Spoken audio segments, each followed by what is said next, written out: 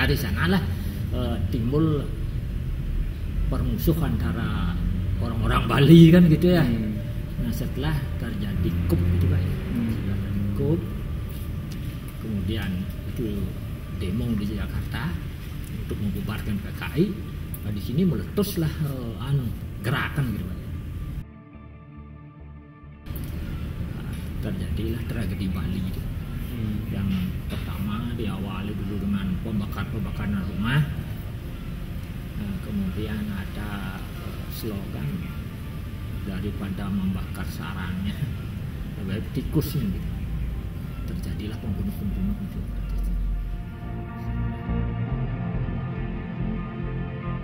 yang terjadi di Jakarta kan bukan pertentangan PNI dan PKI, tapi eh, klik internal angkatan darat, gitu kan. Nah, cuma di, di tingkatan desa itu eh, klik yang terjadi adalah eh, PNI dan PKI.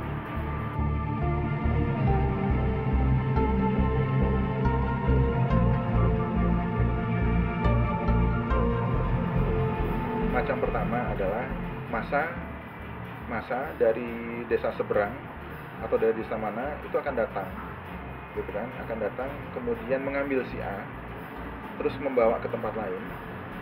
Gitu membawa ke tempat lain dan dibantai di situ. Nah, modus yang kedua rumahnya didatengin dibakar dihancurin dibantai di tempat.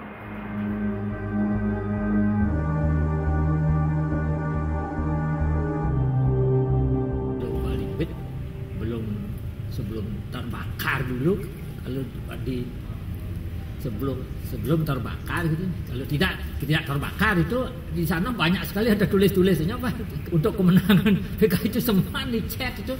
Awas tahun ini awas gitu di, di, di ininya di dak-daknya itu.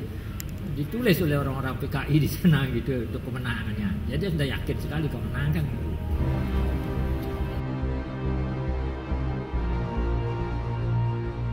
Nah, terus ada juga eh, ya rebutan rebutan pengaruh dalam sebuah griyo. Ya, pedanda disembelih dan topi sampai di apa ya? Saya istilah badannya saya lupa tapi topi pedanda itu itu pun berguling jatuh bersama kepala dari pedanda itu. Itu itu cerita-cerita rakyat.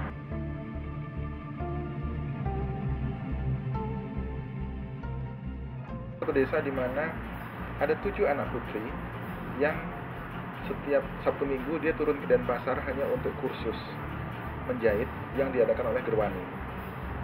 Gitu kan. Dan dia mereka rata-rata anak umur 14 tahun ya sekitar kelas 2 SMP gitu kan.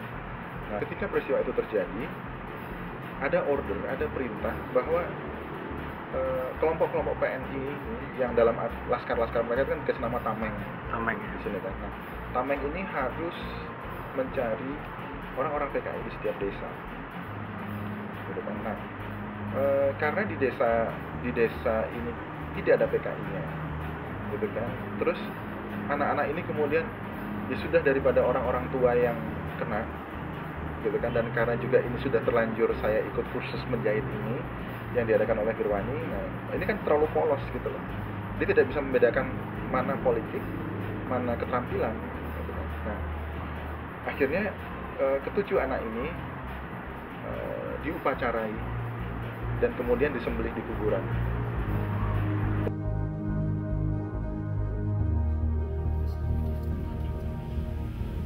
Tapi pada waktu itu memang sepertinya dia memang harus di, harus dibunuh Pak. Sebab kalau dia hidup mungkin saya juga dibunuh gitu. Begitu slogannya Pak. Makanya waktu itu orang tidak tahu partai Pak. Ada yang sebut yang di, di sana eh, yang gampang disebut merah gitu Pak. Hmm. Kalau merah PKI. Maka ada orang bertanya, kamu PKI? Enggak, saya merah.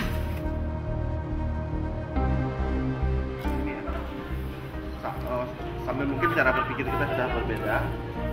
Kita bisa menilai oh ternyata sentimen yang berjalan lebih banyak. Bukan murni dari apa sih kesalahan mereka. Nah itu yang kita nggak tahu